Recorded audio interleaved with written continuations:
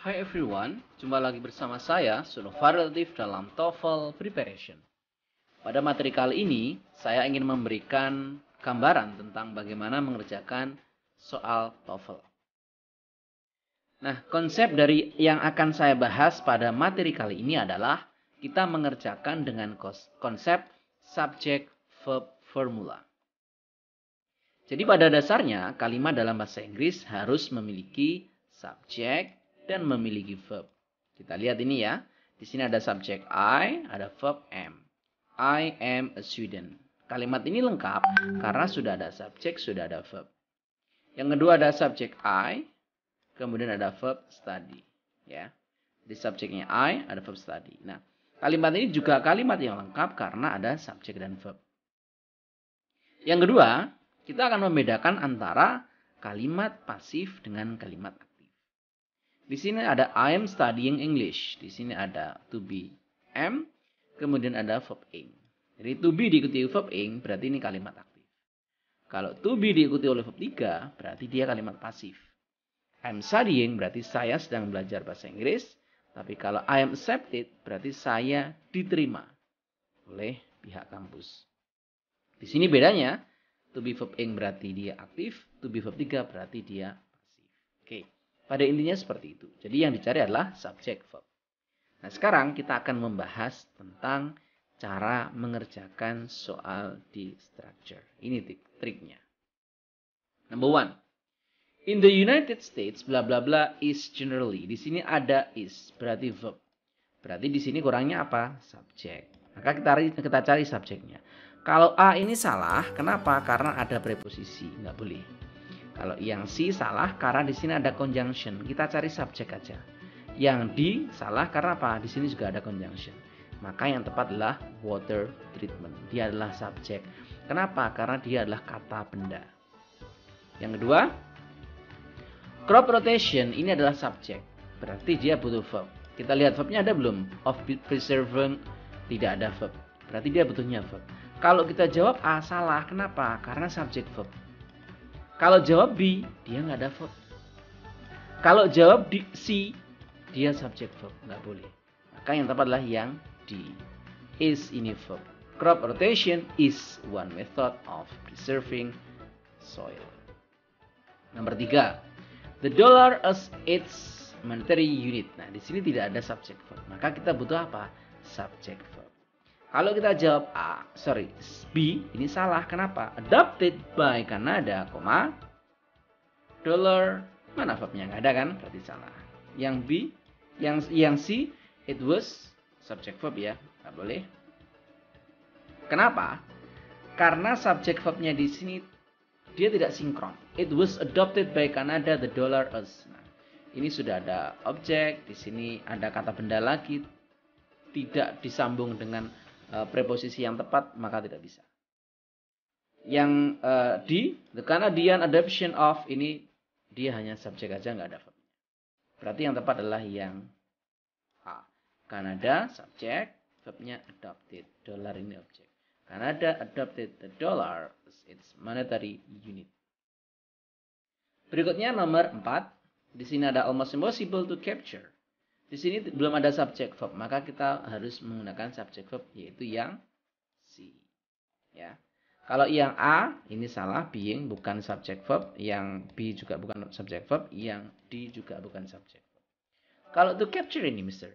To capture ini bukan verb utama. Kalau ada to berarti harus ada verb depannya. Contohnya uh, he wants to capture. Jadi ada verb depannya wants. Berikutnya nomor 5, usually political cartoon. Di sini political cartoon ini subjek, berarti dia butuh verb. Ya. Kalau kita jawab di when ini conjunction, nggak boleh. Yang C ini tidak, ini dia uh, preposisi, nggak boleh. Kemudian yang ini was ini adalah adjective clause nggak boleh. Berarti jawabannya adalah yang appear, subject verb. Kemudian yang nomor 6, bla bla bla the two the two major art museums the folk and the settler berarti kurang subject verb kan karena di sini belum ada subject verb kan nah kalau kita jawab di there at Harvard University ini nggak ada subject verbnya Kalau yang C, Harvard University with its two, nah ini cuma subjek, nggak ada verbnya. Yang B, at Harvard University, tidak ada subjek verbnya. Yang tepat adalah yang A. Harvard University, subjek verbnya has. Nomor 7. American actress and director Margaret Webster. Ini adalah subjek. Ya, berarti dia kurang verb. Verbnya kan belum ada nih. For her production of Shakespearean plays kan belum ada verbnya. Kalau kita jawab A, salah. Kenapa? Karena di sini pakai adjective clause. Kita butuhnya verb, bukan adjective clause. Oke ya. Kemudian yang B juga salah. Kenapa? Webster famous. Famous ini harusnya depannya ada verbnya, nggak boleh. Yang C salah, becoming. Kalau ada verbing harus ada to be. Maka yang tepat adalah yang D. Became famous for her production. 8. Nah, di sini kita lihat ada is, bla bla bla, ada is. Nah, verbnya kan double ini. Berarti kalau verbnya double, kemungkinannya adalah dia subjeknya adalah non clause. Jadi ini non clause yang ber apa lokasinya ada di di subjek. Nah, sekarang kita lihat. Kalau jawabannya mungkin yang C ya. Philip Glass is more. Kalau Philip Glass berarti subjek, verb, ini verb lagi nggak boleh. Berarti yang, misal, kalau yang D gimana? Because Philip Glass is more, ini berarti conjunction, subjek, ini verb. Nah ini kok langsung verb lagi, nggak, nggak ada subjek lagi. Salah. Kalau yang ini, Philip Glass, koma, who is more interested in rhythm than in melody, harusnya di sini ada koma. Karena apa? Di sini sudah ada koma, berarti nggak boleh. Yang tepat adalah yang A that Philip Glass is more interested in rhythm than in melody is apparent from his composition. Bahwa Philip Glass itu tertarik di rhythm daripada di melodi, ini jelas nampak dari komposisinya. 9. Compressed air, ini adalah subjek. Ya. Berarti butuh verb. Ya, verbnya kan nggak ada. Kalau yang A salah, karena ini bukan verb, ini adalah preposisi. Kalau yang B ini salah. Kenapa?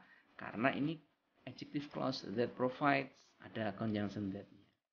Yang D salah. Kenapa? Karena nggak ada verbnya. Berarti yang adalah yang B. Compressed air provides the power to drive pneumatic tools. Nomor 10. By cosmic rays. Ada subjek verbnya kan? Nah, kalau ada by berarti dia biasanya dia kalimat.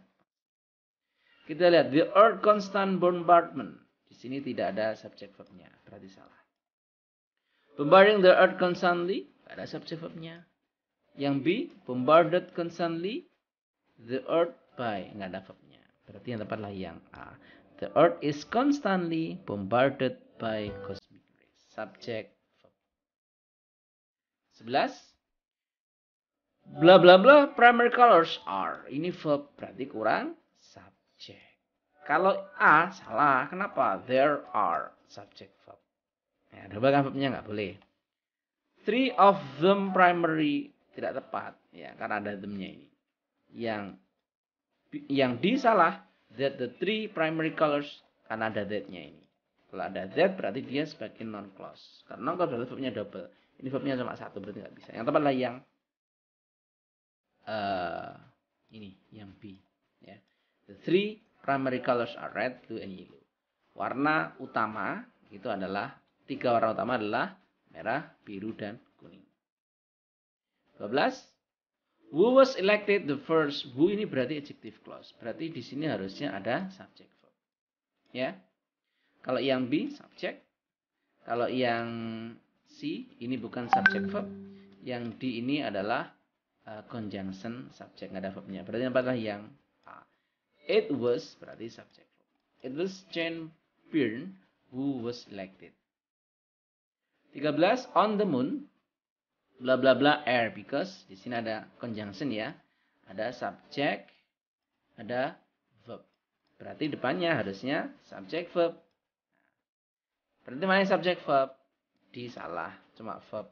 Ini nggak ada subject verb, ini nggak ada subject verb. Yang tepat adalah yang there is.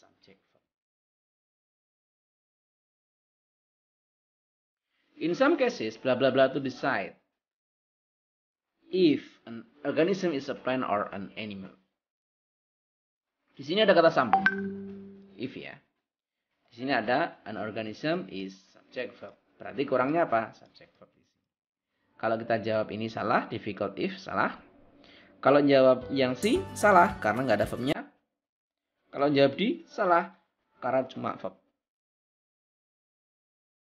Berarti yang tepat adalah yang B. It is. Ini adalah subject verb. Kemudian ya, ini adalah uh, yang bisa saya sampaikan untuk materi pada pertemuan ini. Jadi pada dasarnya kalimat harus dari subject verbnya. Jika hilang salah satu, temukan. Jika sudah ketemu, nanti akan menjadi kalimat yang sempurna. Terima kasih, semoga bermanfaat. Assalamualaikum warahmatullahi wabarakatuh.